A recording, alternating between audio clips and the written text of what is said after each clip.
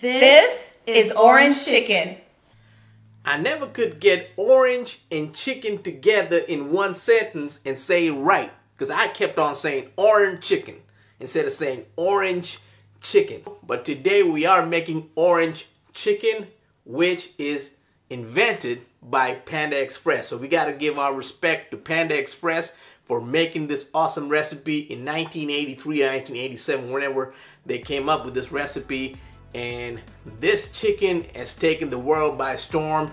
Everybody loves this recipe. Even though this is not an authentic Chinese recipe, this is a Chinese American recipe that we all dearly love. Whenever we go to a Chinese restaurant, we need to get this sweet and sour flavors together, whether it's orange chicken or whether it's sweet and sour chicken or whether it's lemon chicken, you're gonna have to have that flavors. If not, it doesn't feel like it's complete when you go to a Chinese restaurant. One thing I forgot to tell y'all is for this orange chicken, I marinated my chicken in Fanta. So if y'all have done that, let me know in the comments.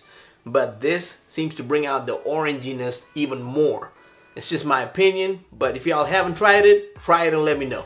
First things first, let's make the batter for this chicken. So I'm using one parts cornstarch to three parts flour. Why is that? Because cornstarch makes the chicken harder and flour makes it soft. So this is the perfect consistency of flour to cornstarch ratio. Then we're gonna add some white pepper, some salt, mix that up, and then add one egg and add two and a half cups of water.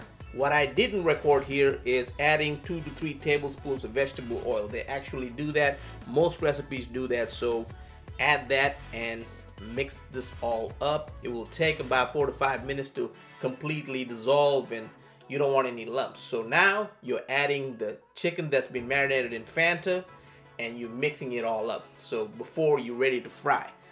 And Fanta actually changes the composition of this chicken a little bit. Now you want to put your oil, heat it up to 350 and start frying. Okay, I'm using like four to five minutes right here.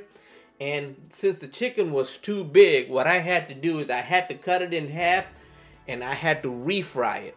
So that was me cutting the chicken in half, adding a couple more tablespoons of cornstarch and refrying it for another four minutes.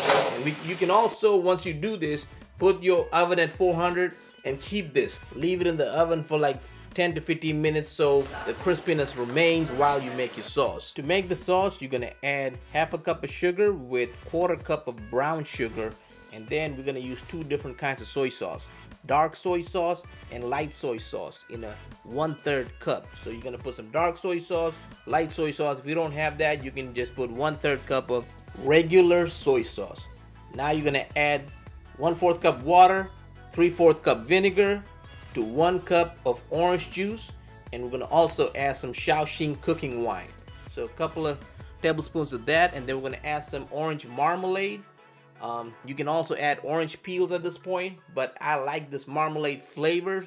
It brings out more of the orangey flavor for the orange chicken. So add that, you know, make sure you mix it all up. And now's the time to add your grated garlic, grated ginger, and your green onions.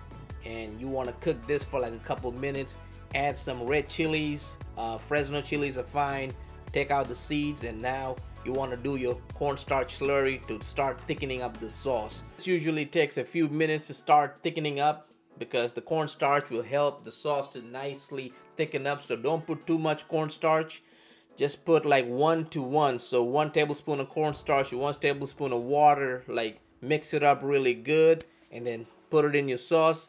And when it's thickened, you can just run your finger across that spoon and now you know it's thick. Now it's the time to toss the chicken. You can also do the step on the stove on a wok, but I like to do it this way so you get the nice and crispiness of the chicken plus the awesome sauce and you can just eat this over rice. So and if you're taking this to a party, you can just take the chicken separately with the sauce and everybody will be happy. You won't have any soggy orange chicken. So this is why I like to do it this way.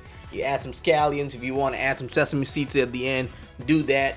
And there you go, y'all. You got your orange chicken nice and ready to, for your dinner. Look at how beautiful that looks. I'm gonna taste it, let y'all know. Now let me taste this chicken. It's crispy, it's orangey, and the Fanta brings it out brings out the flavor. Bomb. Bye, Panda Express. Mm. Five pennies. Panda Express who? Question of the day. What do you rate this chicken? Is this is this better than Panda Express? I have to say, I give it a 10 out of 10. Now if y'all like that video, click that like button, hit that subscribe button if you haven't, and don't forget the Feast with Pete. Okay. This is orange chicken. Three, two, one.